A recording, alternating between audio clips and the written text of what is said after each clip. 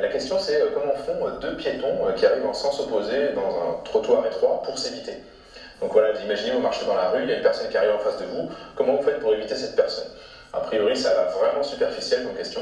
Sauf que si on, se penche un petit peu, on se rend compte que dans cette situation, en fait, vous allez avoir le choix entre deux options.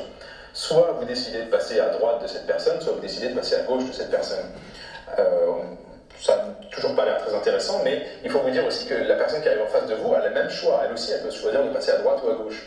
Or, si on choisit tous les deux de passer du même côté, par exemple tous les deux à droite, eh bien en fait on va, on va se rentrer dedans, on va créer une collision. Et si on choisit tous les deux de passer à gauche, bah, pareil. Et, alors la question c'est comment font euh, les deux piétons pour, euh, pour se coordonner, pour choisir le bon côté, quoi.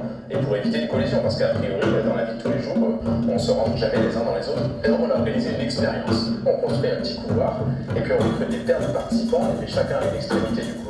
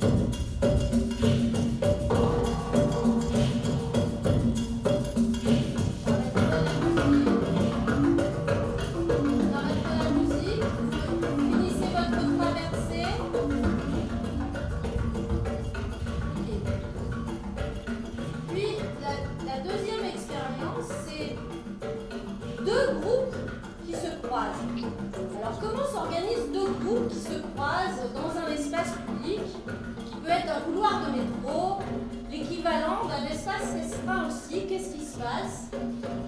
Eh bien, nous avons des sujets qui vont se prêter à l'expérience. C'est parti.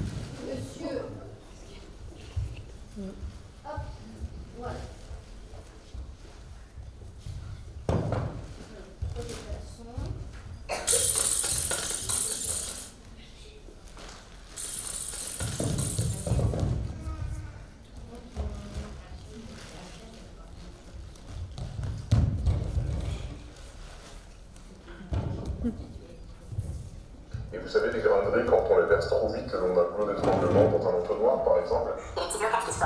C'est exactement le même genre de blocage qu'il y a quand les gens vont évacuer par une porte. les physiciens sont, sont dit, ok, comment on pourrait éviter ces blocages? C'est un aspect pratique. hein. Par exemple, dans les, dans les silos à grains, on essaie de, on essaie de réduire le- au maximum les blocages qui se produisent au niveau du goulot d'étranglement. Et ils se sont rendus compte qu'en plaçant un obstacle un petit peu avant, eh bien, en fait, on va fluidifier comme ça le- l'écoulement du riz.